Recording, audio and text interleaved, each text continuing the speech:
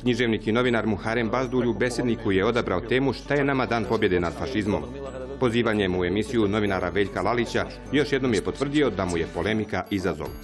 U Bosni i Hercegovini i u Hrvatskoj o, o, o ravnovolskom poredku antifašističkom je jako teško prehvatljiva. U Srbiji to, to, to ne ulazim, to je Ali druga treba da priča, pitaju ali, Ameriku, previ- treba da ali pitaju previše State smo Department. ovaj, Mislim da treba samo da, da se kaže Hrvatima da pitaju State Department Previše smo, kako bi koji rekao- je doneo jel da, to odlikovanje i dao, i dao ga, i dao ga Draži Mihajloviću. Bazdulj, Lalić i istoričar Nikola Žegović analiziraju opasnosti poistovjećivanja staljinizma i fašizma, propagandu protiv Sovjeta, odnosno Rusa, dileme ovdašnjih političara da li da dan pobjede proslave u Moskvi ili poslušaju savjete Brisela i Vašingtona. Besednik ponedjeljkom od 20 časova i 5 minuta.